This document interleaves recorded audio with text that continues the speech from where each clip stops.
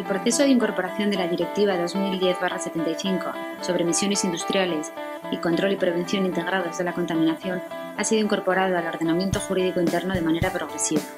La primera norma fue la Ley 5-2013 del pasado mes de junio, que modificaba la Ley 16-2002 de Prevención y Control Integrado de la Contaminación. Ya esta se ha completado recientemente con la aprobación del Real Decreto 815-2013 del pasado mes de octubre, por el que se aprueba el Reglamento de Desarrollo de la Ley y se deroga el reglamento anterior. Este reglamento ha entrado en vigor el 20 de octubre de 2013. La disposición transitoria única contiene a lo largo de sus cinco apartados el régimen transitorio de una manera muy casuística y en cierto modo confusa que establece hasta cinco fechas de aplicación distintas.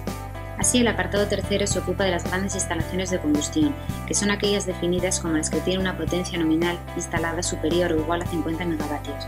Para estas, el plazo de aplicación comienza a partir del 1 de enero de 2016. Estas instalaciones excluyen las que consideren residuos, de las que se ocupan los apartados cuarto y quinto de la disposición transitoria única.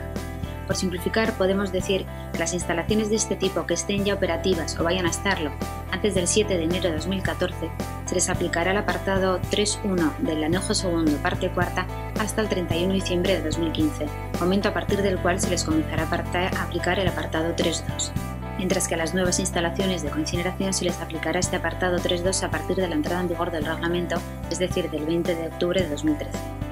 Sin embargo, de un repaso de los anejos se observa que estas referencias no son correctas, ya que el anejo 2, la parte cuarta, no tiene estos apartados. Si bien es cierto que en otros anejos también existen incorrecciones o inexactitudes de este tipo que pueden provenir de una falta de actualización de las versiones anteriores del reglamento.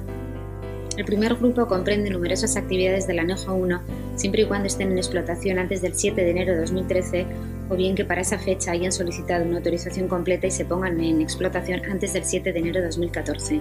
En este caso, la fecha de aplicación comienza a partir del 7 de enero de 2014. En este grupo estarían comprendidas, por ejemplo, las grandes instalaciones de combustión de potencia superior a 50 megavatios. El siguiente grupo abarca todas las demás instalaciones del anejo 1 que estén en explotación antes del 7 de enero de 2013. Para este grupo, la fecha de aplicación es la del 7 de julio de 2015. En definitiva, se trata de una regulación muy casuística, en algunos puntos excesivamente confusa y con algunas incorrecciones, todo lo cual no va a facilitar su aplicación.